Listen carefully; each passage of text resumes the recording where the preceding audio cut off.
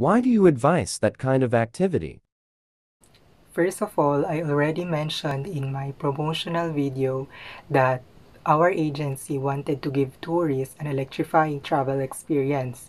This is why we have suggested this kind of activities such as island, falls, and sacred space tour because this is the best thing that can tourists do in my hometown. What will you do to know discreetly the financial capacity of a client? Well, as travel agent, it is our goal to assess our clients. We may require them to provide an application form so that we will be able to know their adequate financial capacity. In that way, we will be able to evaluate the form.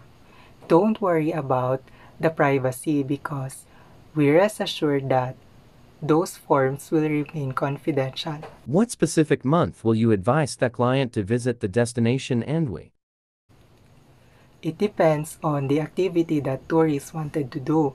If tourists wanted to do island tour, then I suggest that it is best to go between April and May.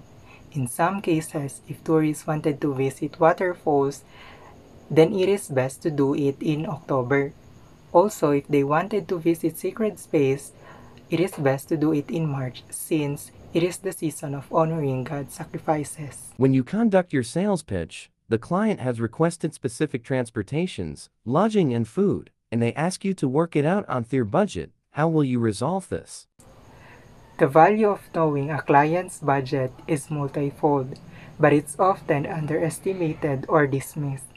What I will do to ensure that the client afford the following transportation, lodging, and food is to ask about their budget. I know it is confidential, but it won't help you or the outcome if you are frightened to ask up for their budget. So I think this is the best way to fulfill my job based on their requests. What strategy will you do to ensure that the client will approve your sales pitch? I will remain consistent and reliable. Everything we have spoken about thus far is only 20% of the sales process. The follow-up is where 80% of all deals are made. Being dependable and consistent is the best strategy.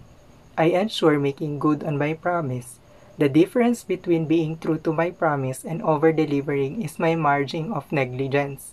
In a follow-up, I will continue to follow up until I receive a definitive yes or no. However, a lack of response or any other type of message should never be interpreted as a no. In sales, it's all about the follow-up. Be unyielding. Who do you think will be the person or people to be considered as a free of charge FOC on your package tour?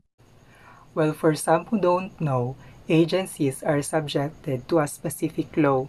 Hence, since a travel agent have a specific relationship with their customers, we travel agents are held to a greater standards of care.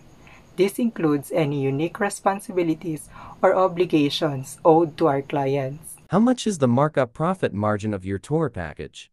I would say 10% of it are the costs since inclusions like for example, free entrance fee, foods, air condition band, and tour guide that we have, it's not that bad for a total of 1,500 pesos. What is the best type of activity you can advise to a Japanese or Korean or Russian tourist being the target market?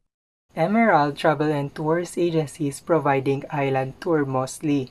It would be the best kind of activity for them since Zamboanga City is reached by so many beaches. What is the most inexpensive means of promoting a destination? I think the real question is why Emerald Travel and Tours sells cheaper price in promoting our destination.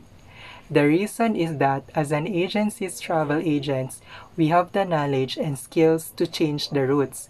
We continue to attempt all the numerous permutations and combinations of booking flights in a slightly different order or way and this is precisely what lowers the fare dramatically.